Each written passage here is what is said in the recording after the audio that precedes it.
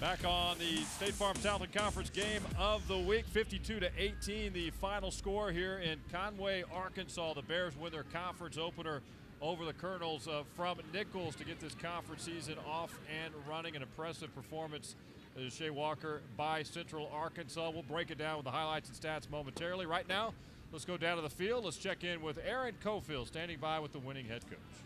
Coach, we'll start with the big picture question. 1 0 in conference play, how important is that? Uh, very important. You know, that was today's goal by any means necessary. Let's find a way to be 1 0 after today. And very pleased with the way that the guys uh, came out and accomplished that. Now, it wasn't the prettiest of games, but uh, we are 1 0, and uh, we played some pretty games. You know, we played halfway pretty against Texas Tech and didn't play well. I will take the W anytime.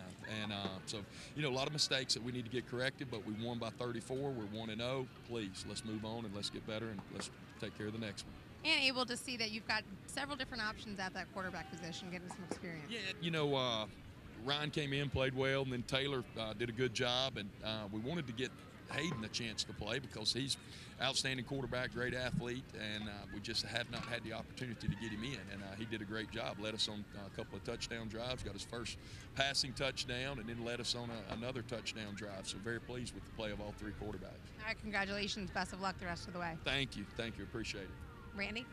All right, Erin, appreciate it. Uh, we do want to mention this is uh, Erin Cofiell's final broadcast with us. We will miss her. She's been doing Oh, the yeah. Southland games for three years. Uh, she's moving on to a great opportunity in the uh, state of Vermont in local television. Erin, we're going to miss you. Thanks, guys. I'll miss you too when it's snowing and it's all chilly, but when it's hot and humid, I'll be sitting pretty. Well, best of luck to you. We'll miss you. Thank you.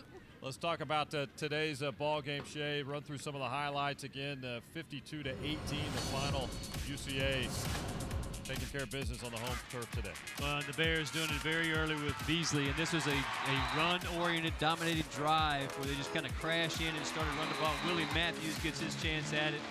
And then the defense for UCA, which is wreaking havoc all game, comes up with a big play.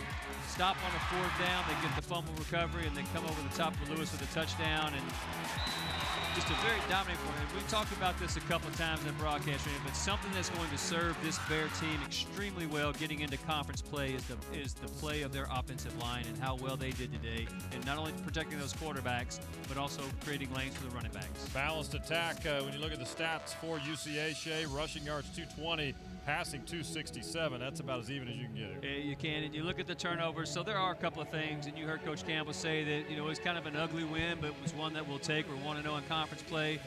Get some of those penalties, some of those turnovers, get those things cleaned up. You're going to be all right.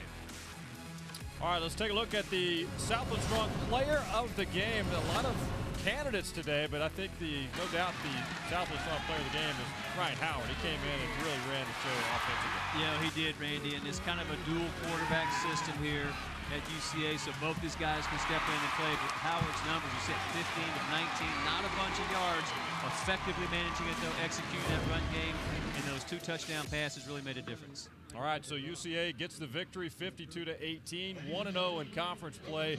Nicholls with the loss 0 1 to start conference play. Time to regroup as they head back home to Thibodaux, Louisiana, and they'll get a week to prepare for their date with McNeese State. That'll do it. The final, once again, from Conway 52 to 18. We'll see you next time.